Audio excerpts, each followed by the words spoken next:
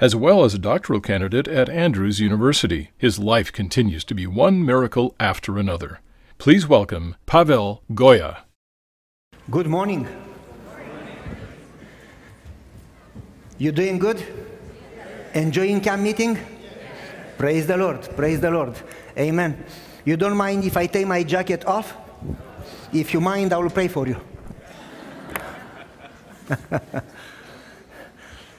it's a privilege to be with you here.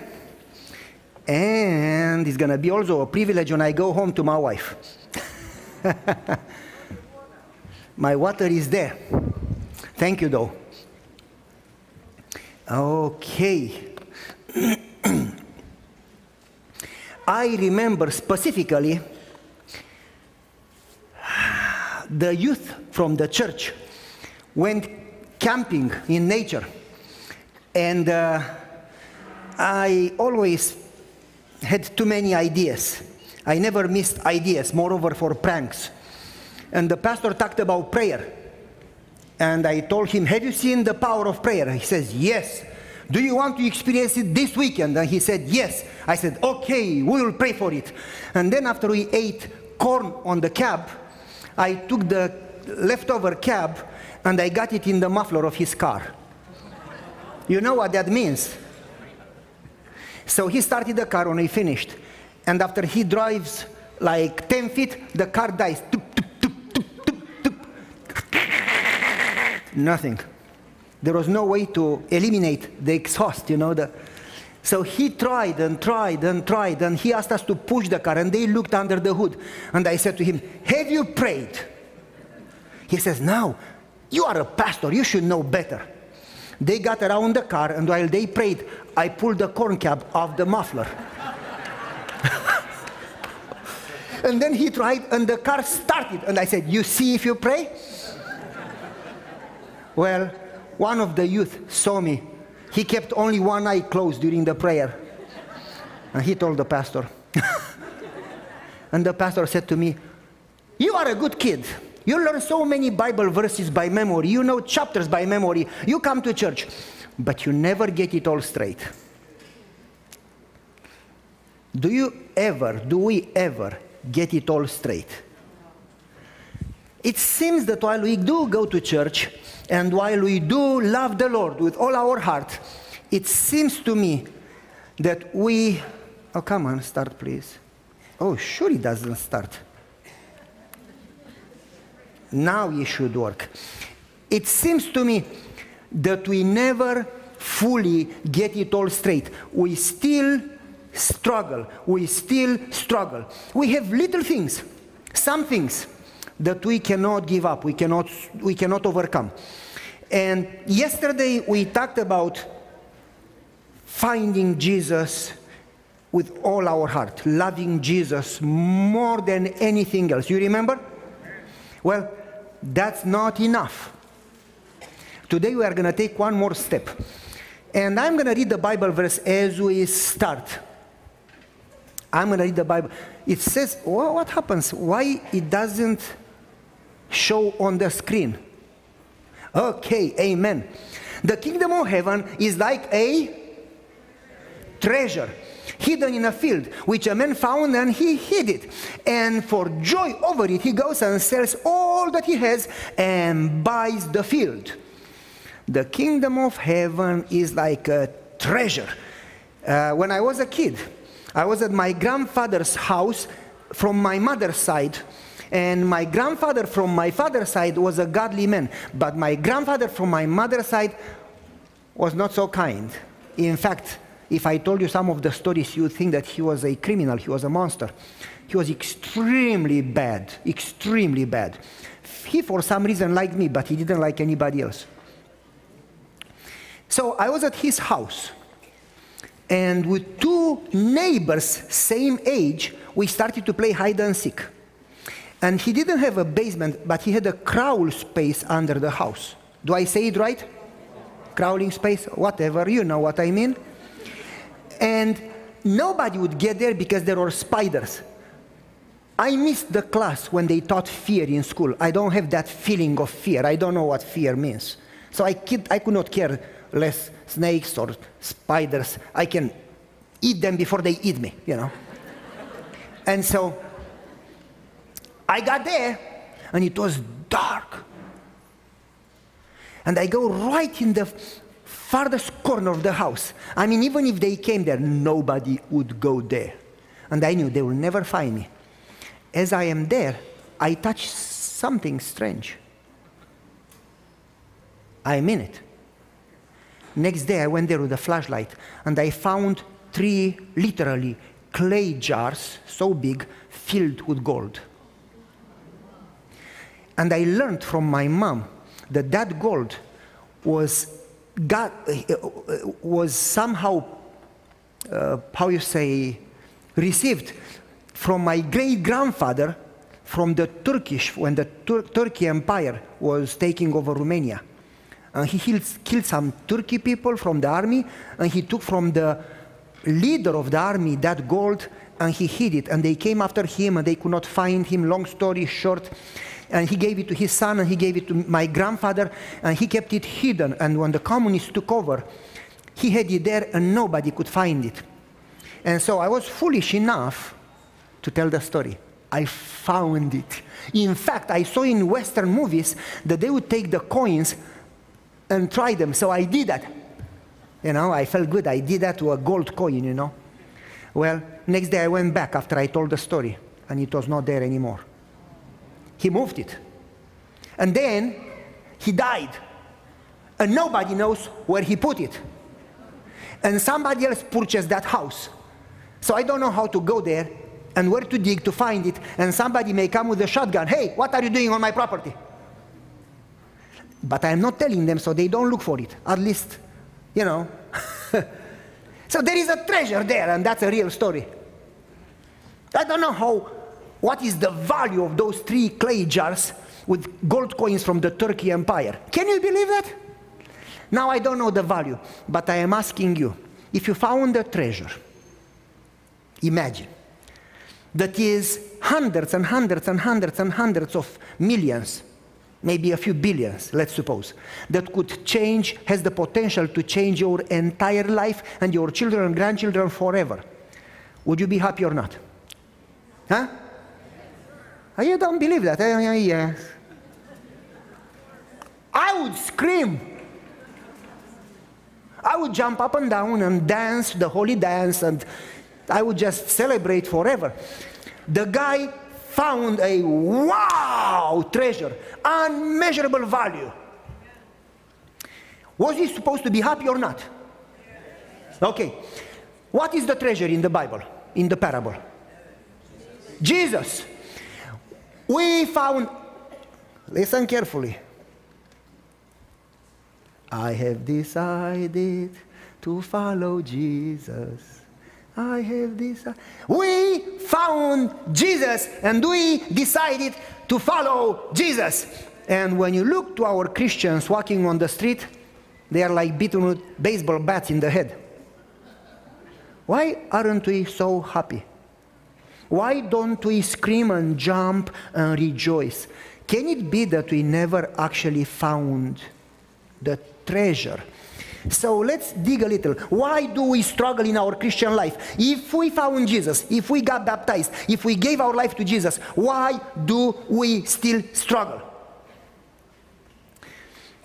My grandpa that had the treasure was always stressed and angry. My other grandpa that had no treasure, he was always whistling and happy. What was the difference between the two grandpas? In the story, if you look carefully, number one, the man found the treasure. Number two, the man hid the treasure. Number three, the man sells all that he has. And number four, he buys that field. Number one, he found the treasure. Yesterday we talked about finding Jesus, giving all your heart to Jesus. I have decided to follow Jesus. Is that good or bad? You found Jesus, you gave your heart to Jesus, you got baptized. Is that good or bad? It's good. Praise the Lord. I am glad you said it. I thought you didn't eat today. Is that enough? No. Why some people get baptized and they think that that's good enough, that's the end of the story. How can you give birth to a baby and says, okay, take care of yourself? That's not the end of the story, that's the beginning of the story. The baby needs to grow up. And so, what is the treasure about? In the, in the parable, the gospel is the treasure, says Christ Object Lesson, page 104. However, if you keep reading, in the next paragraph, it says that the gospel is the good news of Jesus. And that Jesus is the treasure. Jesus is the treasure. This man found Jesus. And so, Jesus is the life, Jesus is the light, He is the bread, He is the door, He is the Word that became flesh, He is the treasure. God Himself, God Himself, the treasure, came among people, lived among them, and they were talking about God, going to church, eating healthy, keeping Sabbath, returning tithe, going to camp meeting, and they killed the treasure. You follow me? They killed Jesus. God, the treasure, was among them. They found God and they killed God. Can you go to church, be baptized, know everything, do everything, and kill Jesus? Be in the church, yet worship the beast. Be in the church, yet be lost like the lost coin. Can you say that you follow Jesus and yet daily reject Jesus? I want you to read carefully the. Give me one second. I'm going to go one slide forward. Okay, so the four steps you already talked about it. It says that the, the guy found the treasure, found Jesus. But then it says that he did what? He hid the treasure. Why would he hide the treasure? I want you to understand what happens. Why would he hide the treasure? Hmm? I have hidden thy word into my heart. He, Jesus says, if you don't eat my body and don't drink my blood, you cannot be saved. I put it in my words. How can you eat his body? How can you drink his blood? The Bible says that people don't live only with bread, but they live with any word that comes from God's mouth.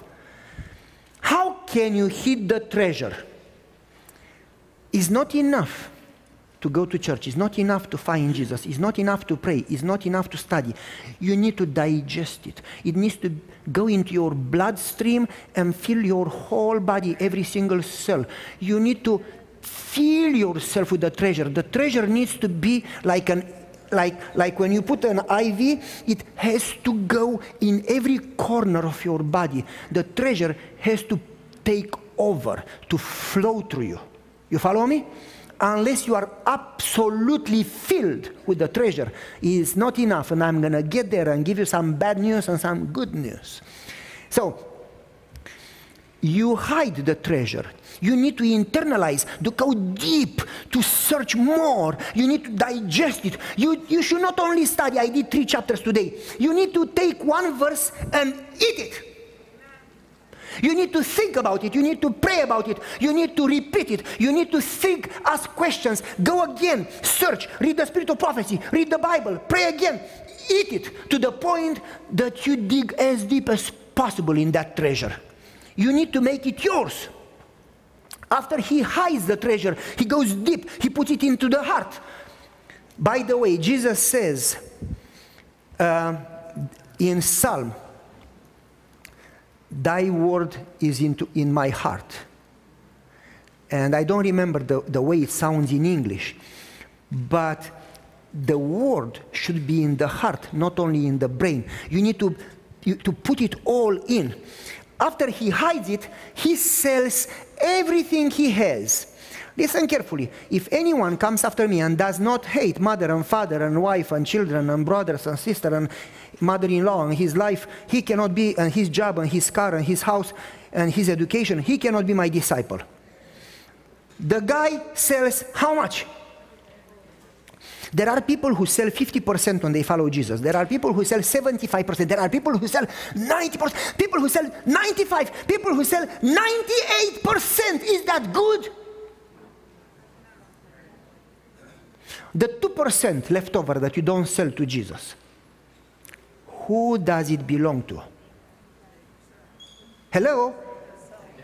Satan, not self. If it doesn't belong to Jesus, guess what? It doesn't belong to you. It belongs to Satan. Don't let's not fool ourselves. You know that if you don't sell everything, actually Satan has access to your heart. My father used to say, Satan doesn't need all your life. Jesus wants it all or nothing. Satan is happy with 1% or 2 As long as he has a corner in, in, in one of the closets, he can come into your house anytime because that's my corner. I need to go to my place. He has some ownership there. And so, and he then works from there. Jesus wants it all. The, the, the young rich ruler comes to Jesus and says, uh, Teacher, what can I do to inherit eternal life? You don't do to inherit, you belong to inherit. You are born in somebody's family, and because you belong to the family, you inherit. You don't do to inherit. You do to earn, and you are born into it to inherit it. So he says, What can I do to inherit? And Jesus says, Have you obeyed the commandments? And Jesus was challenging him to think. He says, Oh, yes, I obey all the commandments. I am a Seventh day Adventist. We believe that we should obey. Not for salvation, but you know, we, we must obey. Jesus says, Wonderful. Sell everything. He said, Well, I, I did sell about 40%. Sell everything. I could go to 75%. Sell everything. Lord, how much do you mean everything? And God says, Absolutely all. All. All. Nothing left over. Give it all up. Surrender all. No control. Zero. And the guy did what? He says, Lord, can I actually keep going to church and do all that I do and be a good Adventist? And Jesus left very sad. Why aren't we happy? Can it be that we never sell everything to buy the treasure? Can it be? Can it be that we don't understand what we learned yesterday, what Paul says? That I consider all things a loss for the price to buy, for the price of knowing Jesus, my Lord.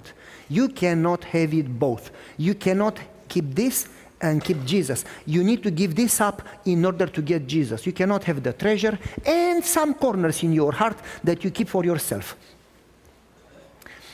It's a lot easier to keep Sabbath and keep all the doctrines than to surrender. Would you agree with me? And that's what God is looking for the whole heart. So, how do you do that? The kingdom of God is like treasure hidden in a field. The man finds it, hides it, and then he does it how? Joyfully sells everything. Have you seen people that do it gradually? I got to go to evangelism. We have work B. Oh man, again. You follow me? Don't do it. Unless you do it joyfully, don't do it because it's not received. You give it with all your heart and consider it a privilege, praise the Lord. If not, keep it. God doesn't need your money. Literally. God can multiply a penny and make it into a treasure. God doesn't depend on you. In fact, all you have, He gave it to you, and God can multiply whatever. So if you don't realize that He gave it to you, and you don't want, I'm not talking about money, I'm talking about everything. And if you don't give whatever joyfully, don't give it. I remember very clear, I remember very clear when I was uh, struggling with some issues of giving and my father called me and said, Son, who gave you this and who gave you that and who gave you that? And one of them uh, was my motorcycle, you know. And uh, my motorcycle, I believe that I can take it to heaven because my motorcycle never sinned. And uh, yes, what's wrong with that? I'm kidding. And my father said, Do you love God more than the motorcycle? And I said, Yes. Then give it up. And I said, Well, God doesn't need my motorcycle we look for excuses to justify what we do because we like it too much. And the things that we are not ready to sell are the things that we worship. And whatever comes between you and God, that's your God. And you can fool yourself and say that you worship God. We actually worship the things that we are not ready to sell. Give up everything that is between you and God. If not, that thing is going to choke your relationship with God. That thing is going to take your salvation, is going to take heaven from you. Do you love Jesus more than anything? If that anything it's something, you need to give that up. Why would God ask Abraham to sacrifice his son? Can it be that sometime we love our kids more than we love God and make them idols? Can it be that sometimes we love our jobs or we love our whatever more than we love God? Whatever comes between you and God, that's what you worship. Do it, sell it joyfully. David fully devoted all his heart to seek the Lord.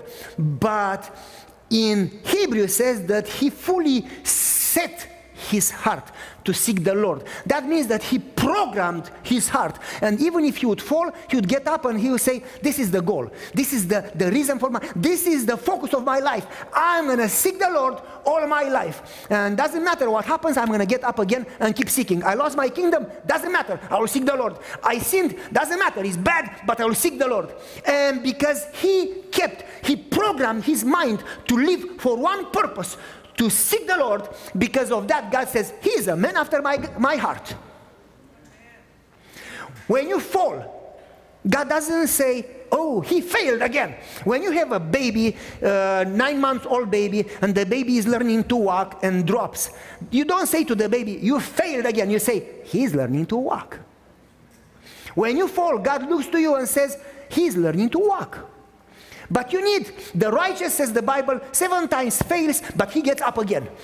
You need to set your mind, and instead of looking to what Satan wants you to look, to your failures, you need to say, I have decided to follow Jesus. I set my mind, I set my heart on this course. I keep my eyes on the captain of my salvation, and I am fully, with all my heart, ready to give up everything for the sake of fully getting the treasure. Basically, you cannot surrender, but you can choose daily to surrender.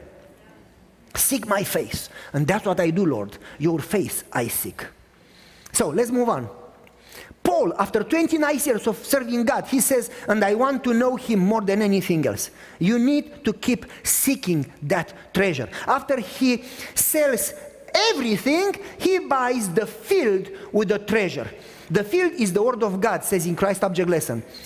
The word of God, the, the, the, that, that type of seeking to know God, prayer and study, prayer and study, says Ellen White that prayer and study should never be separated. She says they go together. Through prayer we talk to God, and through the study of the word, God talks to us. We should never separate them. How many people have the habit to study and pray? Great. How many people do it as a duty? Don't raise your hands. How many people do it for the sake of seeking the Lord and knowing the Lord and finding the treasure? Think about it. Praise the Lord. So, listen carefully.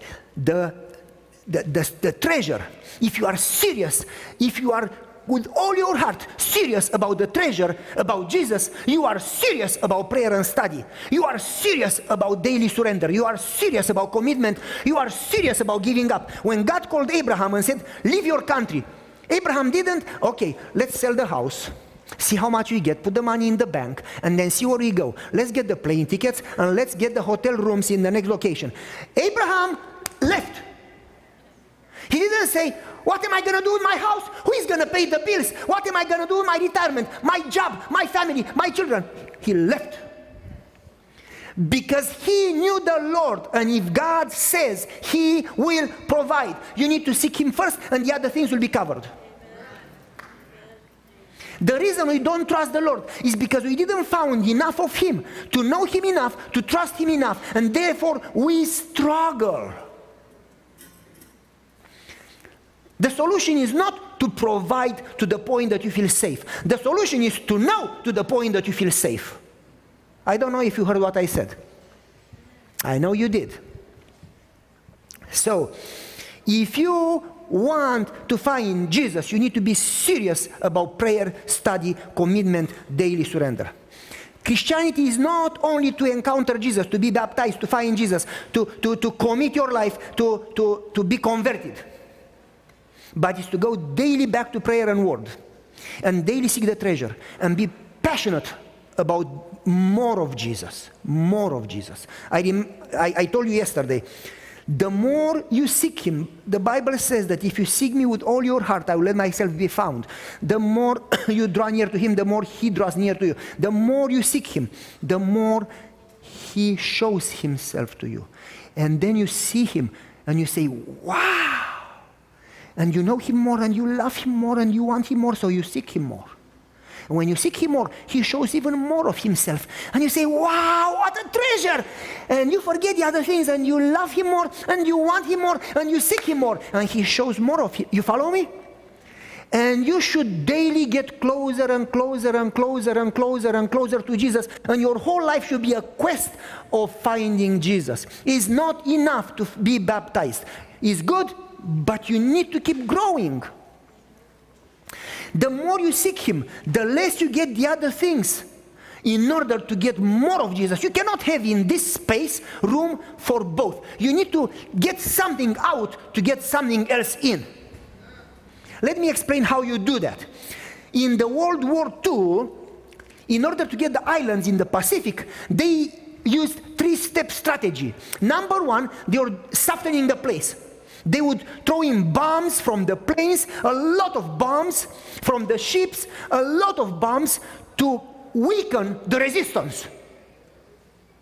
Number two, they would get in the island in a corner, take over, establish a base that belonged to them.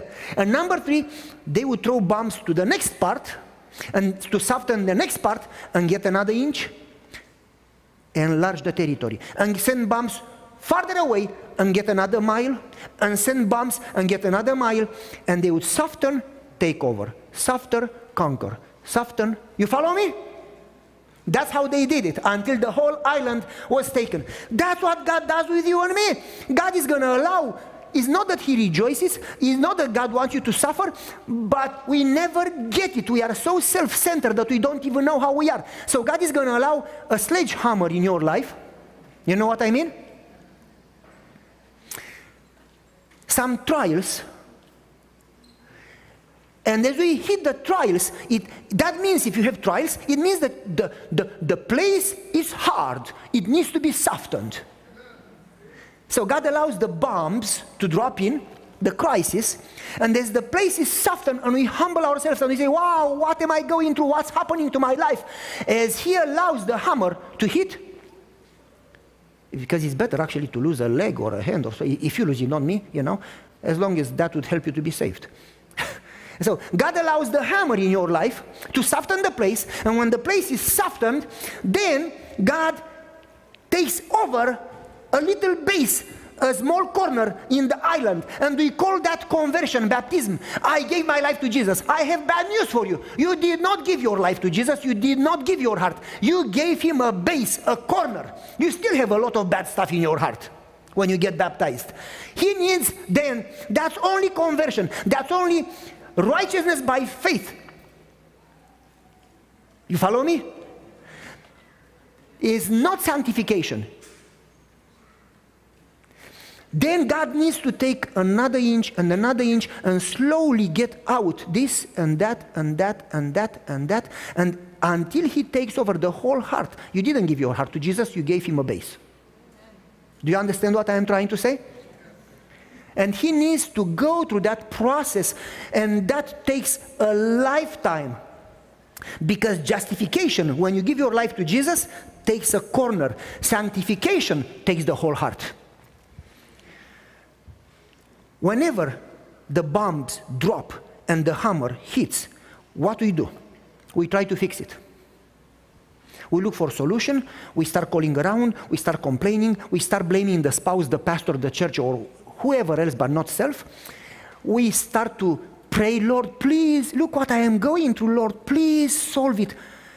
And instead of seeing the big picture that God is actually softening our heart and selling the bad stuff out and replacing it with a treasure, instead of saying, Lord, why do you allow it? Help me grow, help me mature. We try to solve it and we think that enemies are attacking our island. It is God softening the place. Do you understand? Lord, please fix it. Look what I am going through. Now, you don't need to be fixed. You need to be surrendered. You need to give it up. You need to let it go. You need to learn to fix your eyes upon Jesus and remember that He's in control. He doesn't enjoy you to suffer, but He loves you more than you'll ever know. And you need to fix your eyes on Him and trust that He is working on you. Okay. The hardest part in the Christian experience is not when you give your life to Jesus, is when He is softening the place and taking the territories that you never sold to Him. Salvation is when God takes the whole island, the whole heart, and He has full control over it. Who has control in your life? You die to self daily, and He lives in you. Just then, you have the whole treasure. You consent daily to give it all, all your territories to Him, and then He can restore His image in you. So, many people get old and they still did not experience salvation. They still, their heart is divided. Now, let's take another step forward. We often confuse conversion with discipleship. We confuse conversion with discipleship. I'm going to give you a Bible verse. It's uh, a few slides ahead. It says that Jesus was talking to a great multitudes, and they came from Judea and from Jerusalem, and the disciples were there around him. Now I am asking you, who was the multitude? The crowd who was the multitude? Jesus was talking to a large crowd. And he says then they are from Judea and Jerusalem. Who were the people from Judea and Jerusalem? Were they the Gentiles or God's people? Do you get it? Jesus was talking to the Seventh day Adventists, and there are two groups the church and the disciples. The crowd, the whole everybody here, and the disciples. That's only me. I'm kidding. okay, and so many times we confuse conversion with growth and discipleship. We think that if we come to church and get converted and are part of the crowd, we don't need to grow to fully following him and fully take allow him to take over and fully be a disciple. But if you don't give up all things, you are not worthy to be called a disciple. So, Let's talk about it. I count all things a loss for the price of getting Jesus, for whom I have lost all things, and I count them scubalo, that means animal excrements, waste, rubbish. What are those things, all things, all territories that we need to give up from our heart? Let's go, to, go, go through them a little. Uh, listen, pride. Do we have pride problems? Yes or no? When you get baptized, you go into the water, you die, and the pride dies. When you get out, guess who comes out with you? Pride. And you go home and you argue with your spouse. Do you know why you argue with your spouse? Pride. You think you are right. If you're not, if you're humble, you not think that you you not think so high about yourself. You just keep quiet and be humble. We argue because we are proud. We get upset because we are proud. We get offended and hurt because we are proud. If you have no pride, nobody can offend you because you are humble. You don't think a lot about yourself. You say, I have no value. My single value is in Jesus. And if you offend me, you offend Jesus because I am nothing. I am dead. I have been crucified and you cannot offend dead people. You, all you can do, you can offend Jesus because I am dead. He is alive in me. So if you are humble and if you die to yourself, you cannot be offended. People can kill you and you say nothing because you know Jesus is going to defend you pride, we need to sell that territory. Selfishness. Selfishness. Are we selfish or not? Oh, all we do is for ourselves. We eat for ourselves, we get dressed for ourselves, we buy cars and houses for ourselves. We even pray for ourselves. And so all we do, it's about self. Self is in the center. And White says that when we put self in the center, we do what Satan did. Jesus came and he gave up self and he came to serve, not to be served. And we need to give up self. Selfishness. We need to sell that territory too. Control. We try to control everyone around, even God in our prayers. We do whatever to convince him to do what we ask. You remember the saying, husband and wife. The husband says, I am the head. And the wife says, I agree, and I am the neck. neck. I don't mind to be the neck as long as the neck can turn the head the way the neck wants. The problem is who controls it? Who has the last word? We love control. Don't we? Temper. I don't have a temper, huh? We do or we don't. I know a church, I'm not going to tell you where, in the US, where they had a fist fight, and the police came, and the ambulance came, and the ambulance took one, and the police took the other one. That was a holy fight. Do we have a temper? I like to have my shoes shiny, not these ones, but all the others. And I was in the train, and somebody stepped on my shoes, and I exploded. Don't you see where you walk? And then I had to get a napkin and get down and get it shiny again. And then somebody stepped, and I got stomach pain. And I was like, yeah, they are stupid, they are blind, they are evil. I, they always step on my feet. And my wife says, before you give it up, they are going to step all over you. I said, I cannot give it up. And eventually I got so angry that I said, It's not good with me. So I said, You know what? Walk all over my shoes. And nobody did anymore. Isn't that crazy? Satan knows what you are sensitive to, and he's going to send that one to get you. And before you give it up, you never overcome. And only what you give up, you get. And what you try to save, you lose. And whatever you lose, that's what you save. Isn't that strange? Temper. At, at the church, we are saints. When we go home, we develop horns. We need to sell that territory too. Traditions. We Adventists don't have traditions. The Catholic Church has traditions. Really? I was in a church somewhere, I don't tell you where, and I wanted it was hot. Over 100.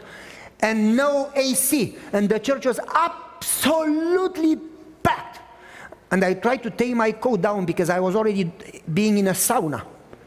And they said, You cannot. You lose your salvation. Nobody will listen to your sermon if you don't have a tie and a coat.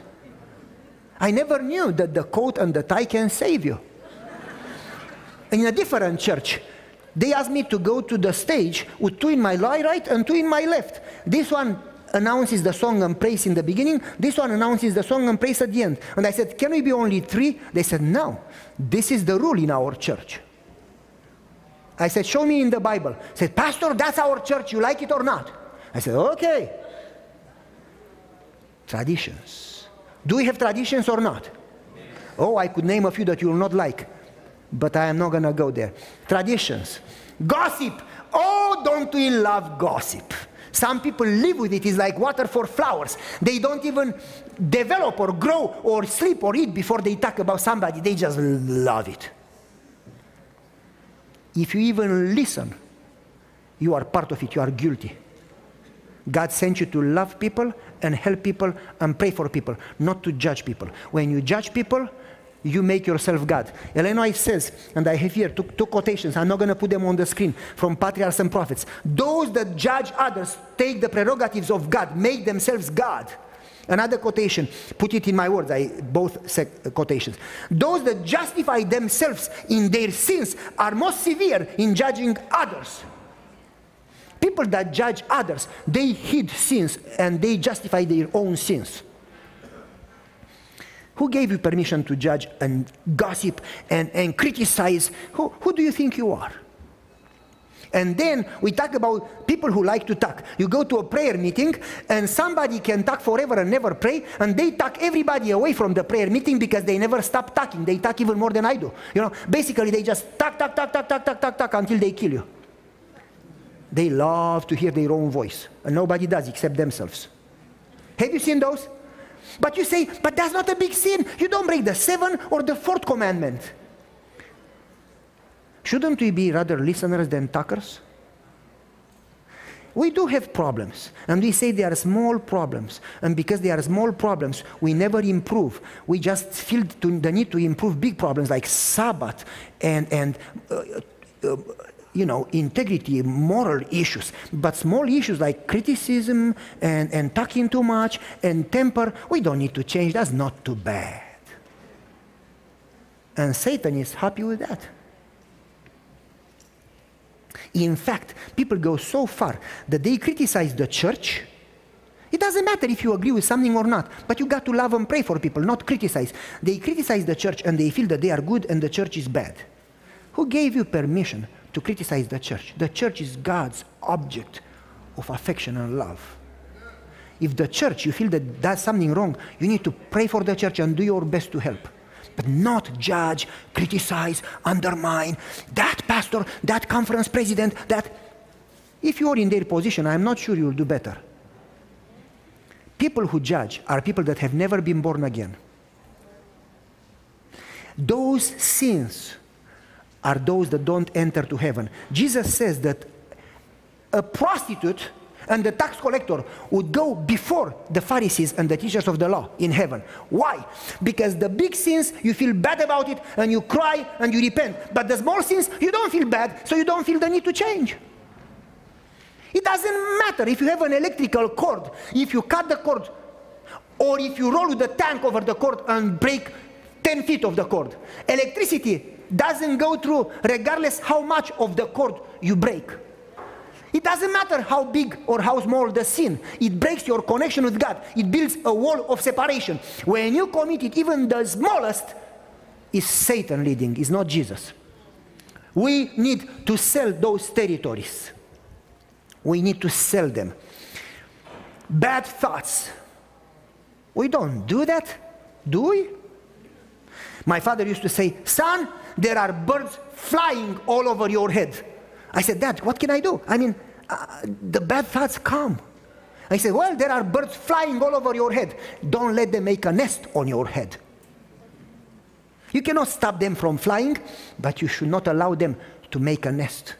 You say, In Jesus' name, I rebuke you, get away from me, and you don't allow yourself to think. But let me go further than that. I mean, vengeful, hate, unforgiving spirit. Do we have that?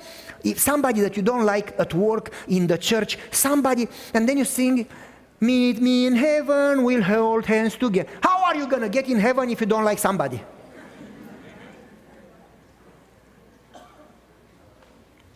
Addictions, bad habits, addictions. Do we have addictions? Well, I'm going to give you a few. Good food addictions, soy addictions. yes or no? Do you feel that if you eat healthy, you can eat whatever, whenever? There are people that eat vegan and they are addicted to food. Am I right or wrong? Huh? Yes, addictions to church. Should we love the church? Yes. Should we worship the church to the point that it comes before God? You follow me? I don't know if I explain. Some people serve the church instead of serving God. We should serve God and through that perspective serve the church. You understand what I'm trying to say? Not to mention Facebook addiction. Some people live on Facebook. They tell you what they did last night. Who cares? Don't tell me what you do every night. Keep it for yourself. Leave me alone. Cell phone addictions. Am I right or not? Shopping addictions, sport addictions, music addictions. I could go on and on and on and on. Hidden sins. I'm not going to go there. We need to sell all those territories. And then you talk about loving our family more than we love God. We do that or not? Focusing on job and things instead of God. Some people get two, three jobs and it's never enough and they are never satisfied. And when they see the neighbor's house, they say, Man, if I had that house. When they see the neighbor's Tesla, I need to get a Tesla. Your Dodge is good enough. Your Chevy is good enough. Your Toyota is good enough. You don't need a Tesla. If you have it, give it to me. Never enough. Christians, some of them, never know the word enough. They always want more. They think that if they have more, they will be happy. It's like the turkey and the dog. The turkey and the dog on Thanksgiving, it's snowing, New York, they are outside, they look through the window, and the dog sees the dead turkey on the table and says, I wish I was inside. If I was inside, I would be happy. And the turkey from the yard looking to the dead turkey on the table says, I am happy or I am. You follow me? It depends on the perspective. Some people is never enough. For them, it's never enough. It's never enough. Because joy and happiness doesn't depend on what you have, but who you have. Not to mention that they become in bondage to things and to jobs, and they never have time for Jesus. If you ask them if they have time for study or for evangelism or for work or for the church, no, because I have three jobs. And Satan is going to give them more needs so they get more jobs so they never have time to pray and study. And God should come first. You should put study and prayer and church before job, and you should trust that He will provide. Then some people if you basically they love money. If you give them money i know families i'm not going to tell you where names you give them 10000 as a gift they still complain they don't have money. If they have three jobs if they they never have money they go in vacation they never have money and you can keep giving and giving and they still complain. And some people have money they don't complain but they never give a penny.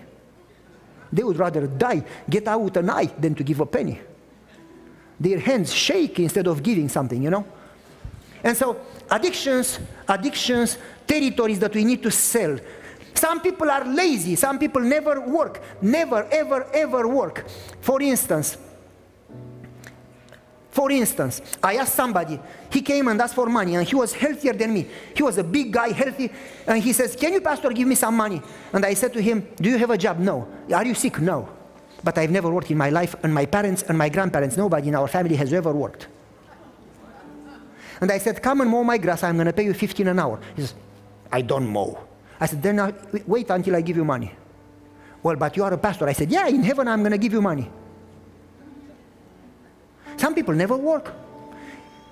Oh, some people work too much. Sports and politics. Should we go to those territories that we need to sell? People have become so polarized when you talk about politics in our society that listen carefully in our society, if you don't agree with somebody, they become so emotional that they are ready to kill you. Hey, you don't have to be a Republican or a Democrat to understand that you need to love your neighbor. It doesn't matter if they agree with you or not. You don't have to agree with them, but you need to love and respect and pray for them. I have bad news for you. Politicians, regardless if Democrats or Republicans, don't care about you. They care for self. Why do we become so emotional that we forget to love people as we love self? What happened to Christianity? Competitiveness. I had a friend who would want to win every game, and every time he lost, he would get angry. I said, Okay, I'm going to let you win. No, no, I need to win. Uh, why are you so competitive? And I could go on and on and on, but I need to finish. So, the hardest part is stage three to sell the territories, to fully give up, to fully surrender. That Jesus is fully in control. And He, because we are so hard in selling, because we are absolutely unable to surrender and to get victory, He allows challenges and crises in our life. He bombs the territory to soften the hard heart. And then He takes another inch. So when that happens, instead of fixing it, you should rather say, Lord, help me grow. How do you sell the territories? God created in heart an empty hole, a space that only God in that puzzle of the heart can fill. And God put Himself there. And as long as you have God in the heart, His presence, listen, not His presence brings all other things like health and joy and peace and salvation and intelligence and family and food and work and, and, and, and leadership and music and computers and cars. And his presence takes care of you. Satan has done something different. Satan replaced God with God's blessings. And that's where sin comes in the picture. When we took God out and put God's blessings in, and then we seek blessings instead of seeking God. We are in love with blessings instead of being in love with God. And we pray for blessings instead of praying for God. And we crave blessings in, instead of craving God. God did not call you to 100% perfection, but to 100% surrender. And when you surrender daily, He's gonna grow you daily to the stature of fullness of Christ. You cannot sell the territories. You cannot change your heart. You cannot overcome in your strength. But you can daily sell, surrender, invite, choose. You can say, Lord, today I am unable to survive. I have this problem, and you name it gossip. I have this problem, and you name it anger. I, but today you say the words, I sell it to you. I give it to you. Please, I am unable, to take it. Do whatever it takes, even if it hurts. Use the hammer and the bombing and the surgery and the, whatever it takes, and replace that territory with your presence. I trust that you'll do it because you promised so. And you daily call him in and you daily surrender and sell another territory. And he will get the whole island. Is your joy found in the Lord or in something else? You cannot have both. Don't love the world and the things in the world. If anybody loves the world, the love of the Father is not in him. The crowd came to be healed, the church came to church. I go to church to get a blessing. Came to church for a blessing. Came to church to be healed. Came to church to be helped. Came to church to be forgiven. Came to church to, to get something. The disciples came to get Jesus. Are you the crowd or are you the disciple? What are you looking for? Peter says, Lord, we have sold everything. We have given up everything. And Jesus says, whoever gives up every, every, every, all, all things will get 100 times here an eternal life. If you want to follow me, sell everything and then you find the whole treasure. Two types of love. Either we love God and surrender all, or we love things and surrender partially. If you don't fully surrender, you hate God. You say, No, Pastor, we love God. We just didn't fully surrender. Now, this is what Jesus says He who is not with me, he is. The things that you don't surrender is where Satan is therein, and Satan hates God. And because you don't surrender, you love those more, so you hate God. You are an enemy. When those things that are in the heart are not God, then God cannot lead. Religion is only a form without power, without joy. The more we surrender, the more He can enter and give victory and change and transform. Are you willing to daily call upon the name of the Lord and surrender? Because religion has no power without that daily experience. My computer refuses to work. If this is your desire, let's sing together. All to Jesus I surrender. I want to shortly, shortly try to share with you a little story, and uh, that story is uh, uh, not very comfortable. Is that story I don't tell people too much because I don't like the story and I am trying to forget that story. When I was in 9th, 10th grade, some, something like that, I uh, believed in God. I did go to church. I did sing in the choir. I did learn uh, two Bible verses every day by memory, literally two verses a day, all my life since I was two, three years old. I learned until I finished college two verses a day. I knew whole chapters by memory.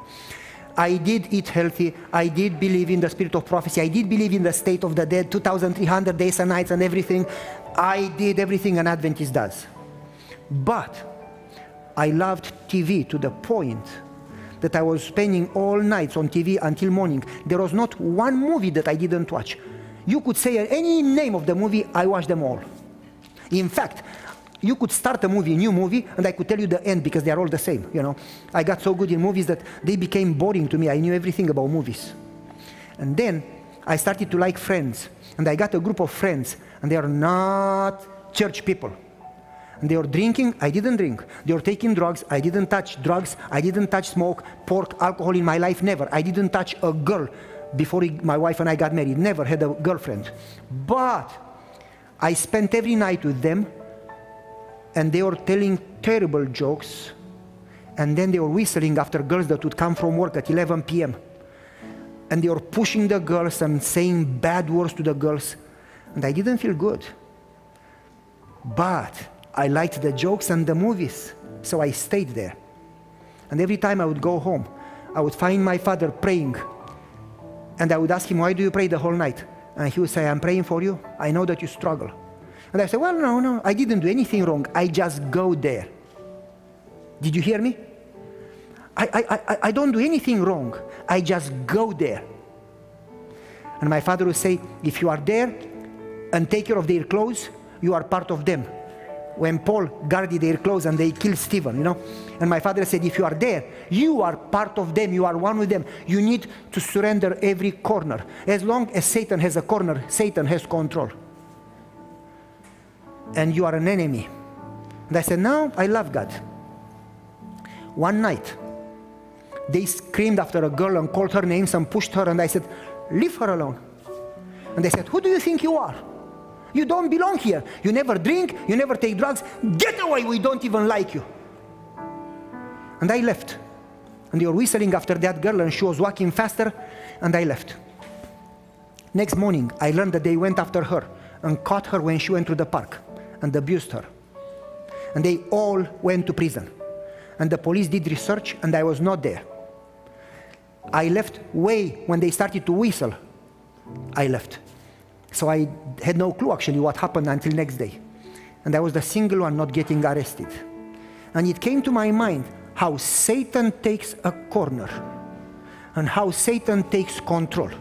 And if you don't give up all territories and you don't fully daily surrender, you don't even know before Satan gets you and ruins your life. And that night, I went to prayer and I said, Lord, I would rather have you kill me but I'm not going to move from here before I fully give up. And my father came to me and said, Are you sleeping? I said, No, I am praying. And I told him the story. And my father says, Son, what is wrong in your mind? Do you think that you are going to get victory tonight? All you get tonight is forgiveness and conversion. And I said, when, when do I get victory? And he said, Every day. I said, You need to pray this prayer every day. Unless you fully surrender every day, you will die. That prayer I prayed, that night I prayed that prayer. I said, Lord, if you forgive me and you can still recover me and use me, I will surrender every day of my life. And I opened the Bible. I was in the beginning, so I was uh, uh, uh, uh looking for signs. I opened the Bible, it was Isaiah 54. For a moment, I was angry with you, but I will receive you back with a great love. When the mountains move, my love will never move from you. And I started to cry, and I said, I will surrender daily. And every morning since, I say, Lord, there may be some territories, some corners that I don't know. Please search me, kill me, beat me, hammer him, bump me, cut out of me. But please, I surrender that corner. Take it over. And I can tell you for sure that as long as you surrender and choose, God works. And it doesn't matter where you are in that process, as long as Jesus is working in you, you are safe. But there is no salvation without selling it all. So if you feel that God is calling you to grow from conversion to surrender, then you need to sing together with me and say, All to Jesus I surrender. Let's sing together.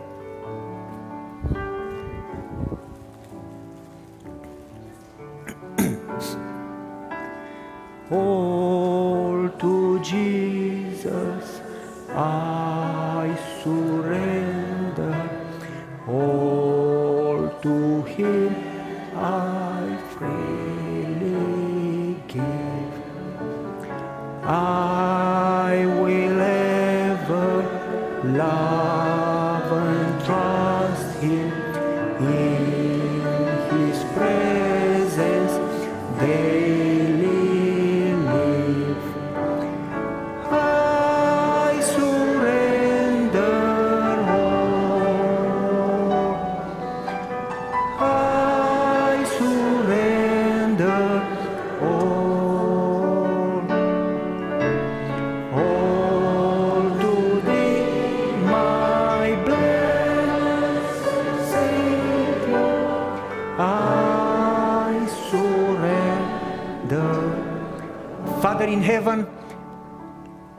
we come in humbleness. We confess that we cannot change our hearts, we cannot change our minds, the human nature. It's all beyond our power or anything that we can do. We don't deserve it. We are so small and so weak. But Father, you promise that if we seek you with all your heart, will find you. You promise that those who come to you, do- they will not leave empty handed. You promised to give victory to those who seek you. Father, please help us understand the unmeasurable value of Jesus, the treasure. Help us desire you more than anything else and help us daily surrender. Daily in the morning, seek you and sell everything and say, Lord, please take it because I cannot do it. I give it to you. I give you permission. Do whatever it takes. Please grow me to be like Jesus and help us to fix our eyes on you and to trust that you who started this work, you are able and you will finish what you started. And we don't need to deserve or to understand. We need to trust in Jesus because it is so sweet to trust in Jesus. Help us never look to self, but always keep our eyes on you. We pray in Jesus' precious name, and we believe and we love you and we praise you and we thank you, Lord. Amen.